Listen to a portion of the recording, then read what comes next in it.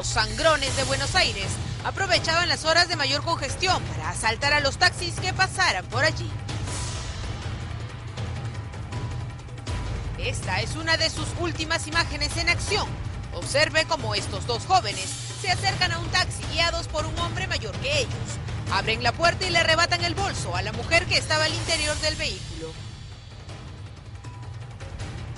La víctima sale corriendo de inmediato tras ellos, pues estos sujetos se estaban llevando la medicina para el tratamiento de leucemia de su hijo de 5 años de edad.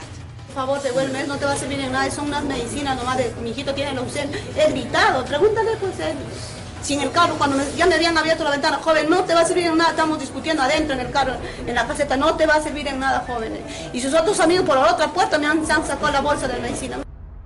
Una y otra vez, estos inescrupulosos fueron captados por las cámaras de seguridad, siempre aprovechando la congestión vehicular para abrir los taxis y arrastrar a sus víctimas, dejándolas tendidas en el suelo.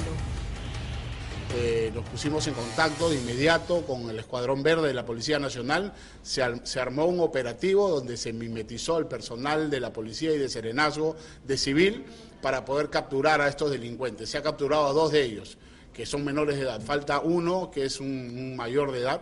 Pero acá lo indignante y lo, y lo que digo, ¿dónde están los padres de familia de estos jóvenes delincuentes? Mediante un operativo, la policía logró capturar a estos jóvenes que estaban empezando su carrera en el mundo del AMPA.